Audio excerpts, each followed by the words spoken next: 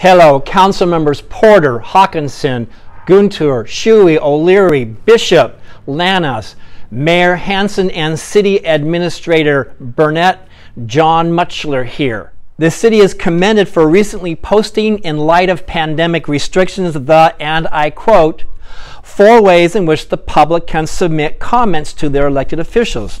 They are number one, email your local officials. Number two, submit a written comment to be included in the council record. Number three, submit a comment to be read aloud by our city clerk. And number four, provide a comment in person during a council meeting that has a public hearing. Way to go, but let's add one further step of engagement, which I hope will be illustrated at your meeting Monday night by the sharing of this message as a video message let's not only allow but encourage citizen video messages to council to be broadcast either during public comment or during the time in the meeting that the subject matter is more appropriate.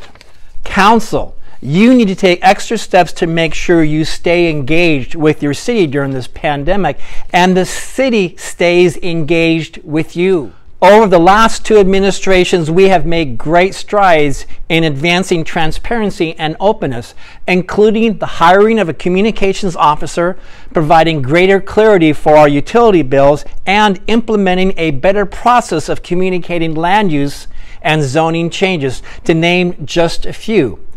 COVID 19 has stunted that progress. And since the coronavirus is here for a while, let's take the lead in facilitating a more engaged public. Make them feel welcomed at the table. Our council rules still provide for public comment three minutes, traditionally in person at a meeting, but we have lost that. And though a letter read by our city clerk is helpful, it doesn't have the same impact, tone, or weight as a message delivered by the author themselves in person or at least by video. As you can see, some of us know how to produce a three minute video for council.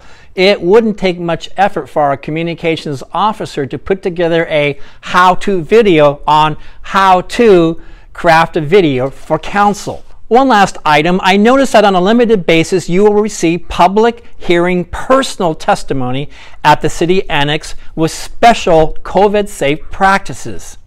I urge council to, if not now, very soon to begin holding council meetings here at Pioneer Pavilion. This large unused space could easily and safely allow the 15 to 30 citizens that might typically attend a council meeting to participate more directly in their government as before.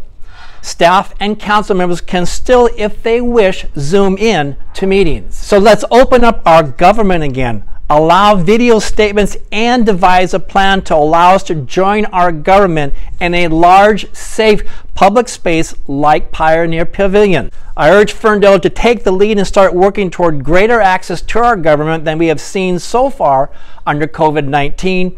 I am confident that you can do this. Thank you, and that was less than three minutes.